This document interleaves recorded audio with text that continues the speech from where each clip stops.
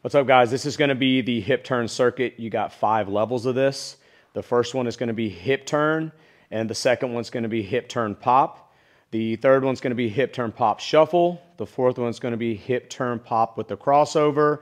And then the fifth one, you're putting it all together and then coming back to your starting position. All right, so the first level is gonna be hip turn. What you wanna focus on here is just focusing on separating the upper half and the lower half. So you wanna see my N2X logo here facing forward the camera the whole time when I'm changing positions, okay? And the reason why you wanna do this is so if you have to go in that position and go change another direction, you are already halfway there. You're not wasting so much energy trying to change your whole body around, all right? So hip turn, level one, is just turning your hips. I'm gonna show you one way to the right and the other one to the left. So if I wanna separate here, I'm gonna pop my hips to the right and then to the left, using my arms to help me with momentum. Level two is gonna be a hip turn pop. So now I'm gonna start initiating that movement into the direction that my hips are popping towards or turning towards.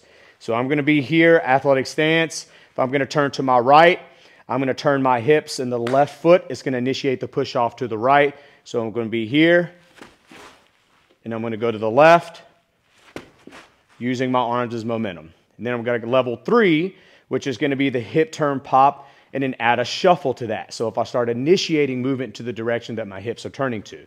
All right, so I'm gonna put the hip turn and the hip turn pop into play together, and then I'm gonna start the shuffle. All right, this is level three. So here, and then I'm gonna go to the left. Now I got number four, which is gonna be a crossover. So this is anytime you're about to initiate that sprint movement into the position that you want to go or into the direction that you want to go. All right. So now you're putting all three together to make the fourth level. You're going to put a crossover into it. So you're here, separating your hips, crossing over. You're going to cover a lot of ground there, and I'm going to go to the left and come back. Level five, I'm putting it all together with the crossover, and then I'm going to come right back into my starting position. So I'm here,